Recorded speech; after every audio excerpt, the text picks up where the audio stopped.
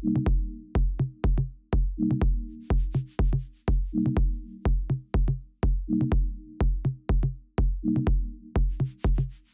Observatorio de la Fotografía es una iniciativa de Too Many Flash que nace con la intención de impulsar y de movilizar a la comunidad fotográfica. Como escuela y como profesores tenemos la vocación y la responsabilidad de poner a disposición de nuestros alumnos y de los futuros fotógrafos nuestro conocimiento y nuestras experiencias. Por eso hemos recopilado una serie de testimonios, de reflexiones y conclusiones de nuestros profesores, todos ellos fotógrafos profesionales en activo, expertos en diferentes áreas y disciplinas fotográficas, para que nos cuenten de primera mano pues, cómo se están moviendo los mercados, cuáles son los nuevos paradigmas y los nuevos escenarios a los que debemos adaptarnos y, en definitiva, qué oportunidades se vislumbran en nuestro futuro profesional.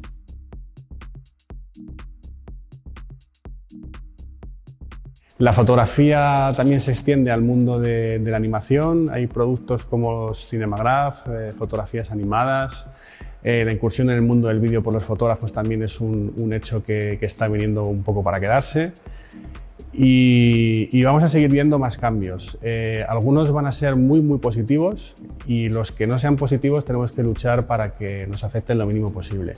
La clave de todo esto será tener la mente súper abierta y ver las oportunidades que nos, que nos, vengan, porque si estamos concentrados en, en una actitud pesimista, probablemente no veamos venir todo lo bueno que hay por llegar. La especialidad va a aumentar valor, es decir, un fotógrafo especializado en hacer retratos eh, de una manera muy concreta, con un estilo muy determinado, creo que va a tener más valor de cara a los clientes a las agencias de publicidad que el fotógrafo que hace todo. El fotógrafo que hace moda, el fotógrafo que hace bodegón. Creo que especializarse ahora es una cosa que tiene más valor que nunca y, que el camino de, triunfar y de sobrevivir en la industria ahora mismo va, por ahí. El fotógrafo que hace de todo creo que lo va a tener más complicado. Eh, y también creo que es un momento muy importante para, para, desarrollar una flexibilidad con los clientes y con los proyectos. Es necesario el que puedas eh, abrazar la parte de negocio a tu fotografía porque si no tendrás eh, una desventaja muy desfavorable en cuanto al resto de fotógrafos que van a poder sobrevivir a partir de ahora. Pues creo que la fotografía, y en concreto la fotografía de moda, va a cambiar en, el sentido que se va a buscar una fotografía más inmediata. Eh, si ya la moda en sí iba en esa línea, en buscar colecciones mucho más cortas y, y más rápidas, eh, creo que la fotografía de moda va a seguir esa tendencia y, va a estar mucho más activa en, ese sentido. En cuanto al fotoperiodismo, eh, evidentemente eh, la pandemia ha supuesto un punto de inflexión, creo, en el desarrollo de la fotografía documental hasta ahora estábamos muy acostumbrados eh, o había un nicho de mercado fundamentado en, una información de agencia o una agenda diaria en la que prácticamente lo que veíamos en prensa eran simplemente fotonoticias. Y ahora mismo creo que ha sido un buen proceso reflexivo para darnos cuenta que la fotografía documental tiene que tener muchísima cabida. En España hemos tenido ciertas dificultades para poder desarrollar nuestro trabajo, pero sí se puede ver que hay muchos fotógrafos, sobre todo en, provincias, que han trabajado muy bien esa fotografía documental y han podido contar de una manera mucho más original, si cabe, eh, eh, o, con mucho más valor documental las noticias que estaban sucediendo en el día a día.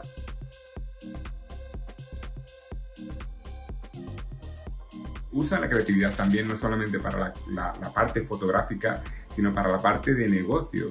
Y sobre todo incorpora y abraza el marketing y las ventas, eh, porque eso a partir de ahora es lo que te va a permitir pues, tener un mayor control sobre tus ganancias, tus ingresos y tu negocio. Si se va a buscar una fotografía más, más inmediata y sobre todo se va a potenciar, que creo que es lo más importante, eh, la parte de e-commerce, eh, creo que como fotógrafos, como profesionales, tenemos que hacer un hincapié eh, aún mayor en esa parte de la fotografía, en esa disciplina, que sean, eh, bueno, e-commerce potentes y sobre todo que tú como fotógrafo profesional seas capaz de gestionar y de producir esos trabajos.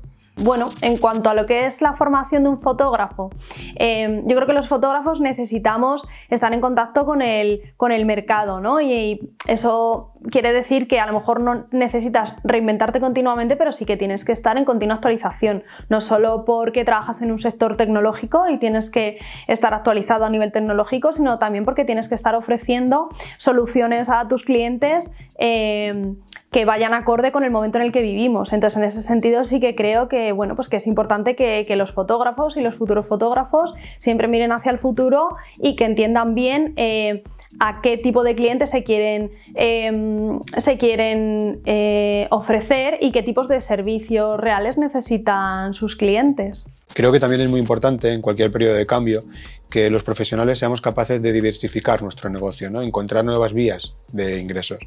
Para ello, evidentemente, es necesario estar bien formado. Si yo como fotógrafo de bodas necesito eh, encontrar o entrar en el mercado de la creación audiovisual para empresas, necesitaré formarme en ese sector. Entonces, mm, la formación es necesaria para entrar, para ofrecer un producto de mayor calidad lo que ya estás haciendo o para encontrar nuevas vías de explotación de tu negocio. A nivel formación estamos en un sector que está constantemente evolucionando, por lo tanto tenemos que estar al día de estos conocimientos nuevos que van sacando junto con la tecnología. Por lo tanto, creo que debemos darle una oportunidad, una buena visión a la formación online, ya que es un contenido muy variado, con muy buena calidad y, y cada vez más personal.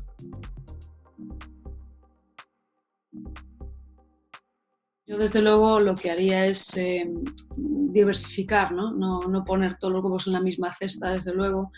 Eh, eh, invertir más tiempo en, formarnos, en, perfeccionar nuestras habilidades y em, dedicar más tiempo también a trabajos que podamos hacer eh, pues desde nuestra oficina, como, como dedicar más tiempo a la edición y a, la difusión de, nuestro trabajo, que en ocasiones eh, es algo que tenemos relegado por falta de tiempo, pues puede ser un buen momento, desde luego, para, para dar a conocer más nuestro trabajo.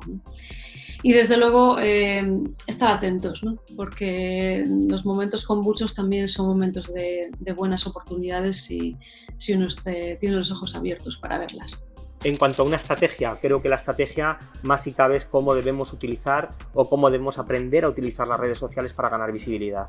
No vamos a ganar clientes, pero la visibilidad es muy importante y nos va a hacer además que sepamos aprender de cada modelo productivo, es decir, que al final sepamos que eh, hay que manejar ciertas herramientas, y pongo el ejemplo más absurdo, en formatos verticales, a lo mejor cuando estamos hablando de, ciertos lenguajes o, ciertos canales en Internet, y también en lenguajes horizontales cuando lo estamos haciendo en otros lenguajes en Internet. Entonces creo que en el aspecto eh, audiovisual tenemos mucho que aprender y, creo que la estrategia en la comunicación, en cómo manejar, las, redes sociales, es fundamental para el futuro del fotógrafo.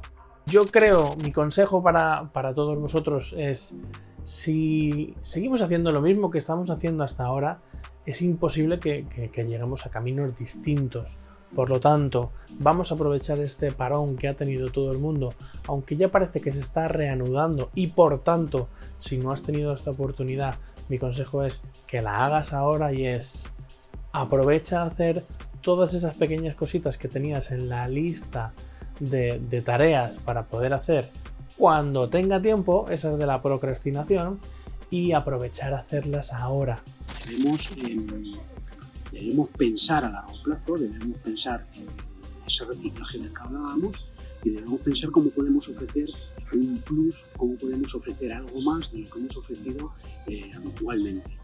Y sobre todo debemos competir en calidad, no debemos competir en precio ser muy bueno, tener un grandísimo portfolio, em, eh, controlar mucho de técnica, controlar mucho de, relación con los clientes, todo eso eh, adquiere un, valor superior. Creo que es súper importante eh, ser conscientes de que ahora, em, ahora la mediocridad va a estar muchísimo más castigada y la, la excelencia o ser muy bueno haciendo algo va a tener mm, más premio, claro. Mi consejo es que profesionalices todo lo que puedas tu negocio de fotografía. Es una empresa y como tal tienes que hacer un plan de amortización, un plan de inversión y plantearte unas metas en un tiempo concreto.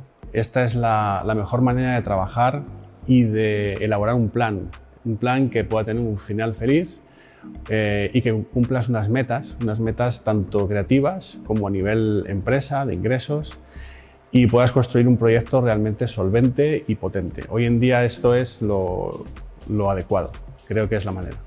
Necesitamos ser versátiles, pero también ser muy especializados, con lo cual necesitamos ampliar siempre nuestro espectro de visión y conocer no solo mejores formas de trabajar en nuestro estilo, sino también conocer cómo trabajan los que se están dedicando a ello y están abriendo caminos nuevos. Con lo cual, la formación para mí es esencial y es algo en lo que siempre creo que tenemos que incidir todos.